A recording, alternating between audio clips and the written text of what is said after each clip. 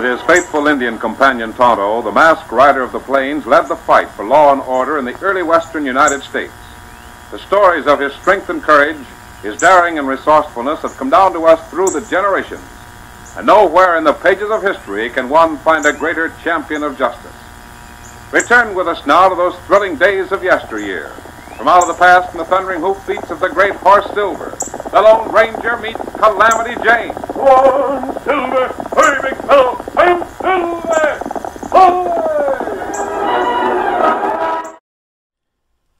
Here's the transmitter diagram that I came up with and built. And I've supplied a link in the show more of this video so I can download this diagram if you'd like. I've got some pictures of the setup. All I did was breadboard it. And you can see the coil on the right there. That's made by wrapping the wire around five times. I used a uh, AA battery for the form so it's real easy to make.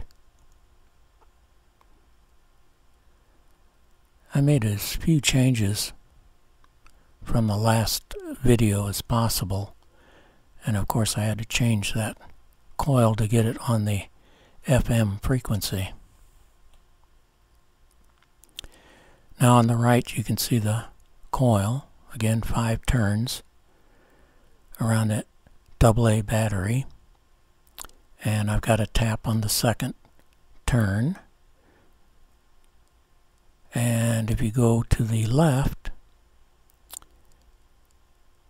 how we modulate this is by this transformer, and it's actually a power transformer, but I'm feeding it backwards. I'm putting audio in to the 12.6 volt side, and I've got the primary in between the variable voltage that I'm applying to those five parallel varactors. And what happens is, when I put audio on that, the output of the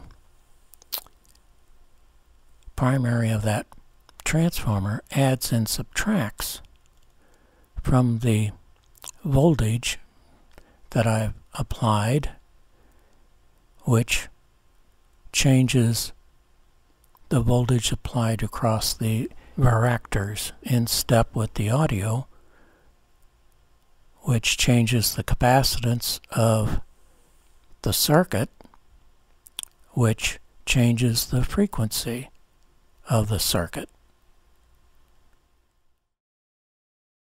Hello? Hi, Kip. What you got? Red-tailed squirrel.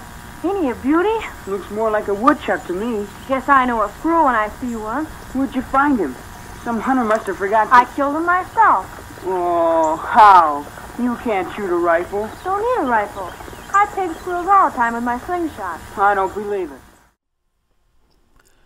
That slight hum that you heard is actually intermod from the wiring in the house and that's because it's important where you place the uh, transmitter but uh, and also it would be nice if I had the transmitter in a nice neat little box that would help out quite a bit too but it's not bad considering that I just put it on a breadboard and it's laying on the workbench Tell me, how'd you kill that squirrel? Did you have to sneak up on him or... No, I just spotted him sitting on a log down by the road. So I pulled out my slingshot and I said, Mr. Squirrel, you ain't nothing but a dad-burned, low-down, snaggletooth, hog-waller environment. Then I let him have it, see? Golly, Jeannie, where'd you learn to talk like that? My pa talks that way all the time. Thanks for watching.